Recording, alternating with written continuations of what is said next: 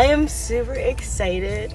Right now, Shanavia Graise, a Southern Miss alumni from Newton, Mississippi, is in Milwaukee competing for the National Mrs. Petite USA crown. Since I was a little girl, and my mom can vouch for me, I wanted to be America's Next Top Model. Graise discovered this pageant last year after losing her job to COVID. She says during her time praying, God gave her a message. I was praying to God. I knew what He was sending me here for. I already knew that I had to be an advocate for the LGBTQ community because we don't have a lot.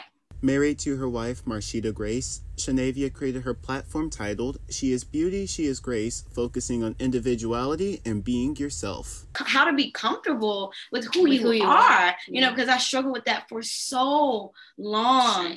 Shame. Like I struggled with that for so long, even within my sexuality. And that's why She is Beauty, She is Grace is my platform because it doesn't only focus on the LGBTQ community.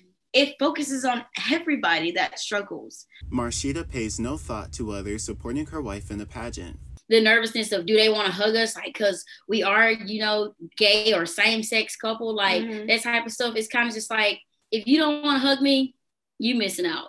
To see Graise compete in the pageant starting Friday, you can view her on the live stream at usapetite.com for the student prince, Earl Stoudemire.